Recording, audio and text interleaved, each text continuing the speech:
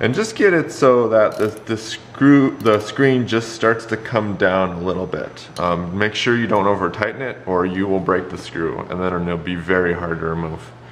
And that's how we do um, the installation of the gasket and screen on the Rancilio Silvia.